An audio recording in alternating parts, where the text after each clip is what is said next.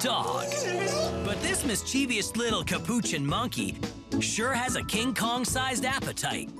You get the cake, Deke? He's been raiding the Drake's refrigerator and pantry since joining their family of exotic pets 10 years ago. Deeky really is very smart. Did I say you could have that? Huh? And there's just no stopping him when he gets the scent of a sweet treat. Charlie has tried to protect Deeky from sugar overload by monkey proofing the kitchen cabinets. And it was time to start locking things up.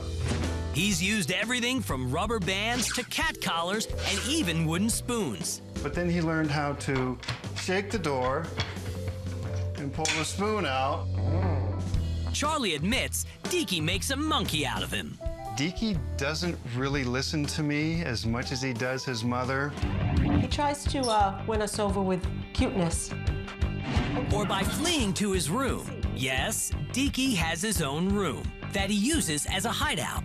He will try to leave the scene of the crime as quickly as possible because there are other other animals in the house and they could possibly be blamed. No, no, no.